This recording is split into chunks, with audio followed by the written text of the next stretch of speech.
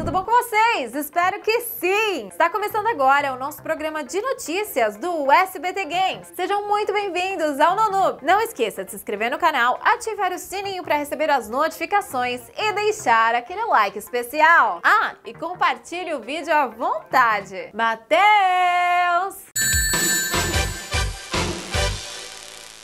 The Legend of Zelda Breath of the Wild 2 está em fase de desenvolvimento e foi durante a E3 deste ano que os fãs da série foram surpreendidos com a notícia da continuação do game. Segundo o usuário do Twitter Sabi, conhecido por vazar informações corretas sobre a Nintendo, o game chegará aos consoles em 2020. A galera do Switch está só esperando para jogar aquele Zeldinha e descobrir como sobreviveu o panacão do Ganon, né não? Vale lembrar que as informações são apenas rumores, já que nada está confirmado pela Nintendo.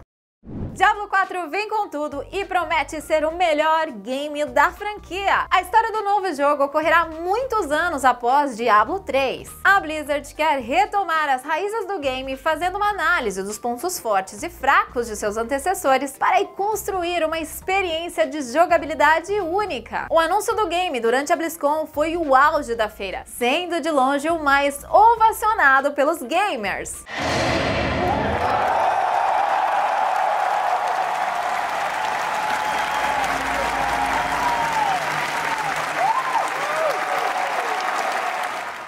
Desenvolvedores afirmaram que querem trazer mais gore e um tom mais sombrio para o Diablo 4. O famoso RPG vem com sua essência de berço no mundo aberto e novidades como PVP e customização de personagens. Há também rumores de um possível crossplay. O game estará disponível para Xbox One, PlayStation 4 e PC.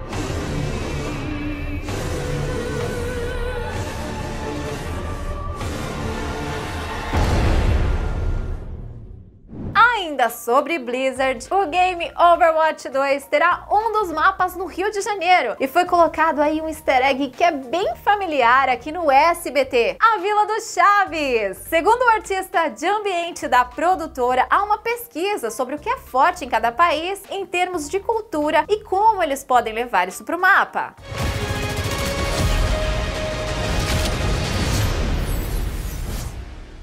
Foi notícia em todos os lugares o visual do Sonic em seu novo filme devido à sua diferença um tanto bizarra com o fofinho do mundo dos games. Graças aos céus, eles escutaram os fãs e refizeram o seu visual no longa. E quem ajudou no processo de redesigner do amado ouriço azul caneta foi Tyson Risse, animador do game Sonic Mania, que liderou o processo de reformulação da aparência do azulzinho, trazendo de volta destino Chernobyl são e salvo.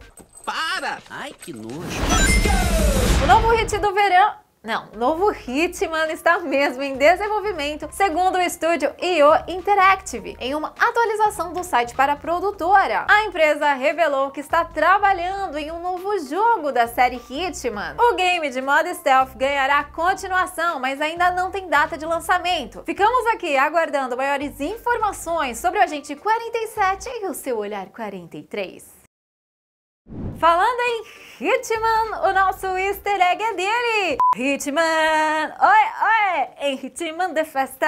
Oi! Em uma fase do Hitman 2, você precisa se vestir com uma fantasia de flamingo. Assim que você conseguir a roupa e estiver infiltrado, pegue a foto do flamingo que está em uma das barraquinhas e procure um cara vestido também com a fantasia do pássaro. Elimine-o e suba com ele pelas escadas do prédio, até encontrar uma sala. Lá estarão vários cientistas. Derrube todos eles e posicione o mascote em frente ao robô interaja com ele. E lá, o robô fará a magia. Logo após isso, você vai ver a diferença. Todos os cientistas e agentes do jogo estarão vestidos como de flamingo. Se quiser concluir a fase em grande estilo, siga este caminho até encontrar os ovos. Lá você ganha asas literalmente.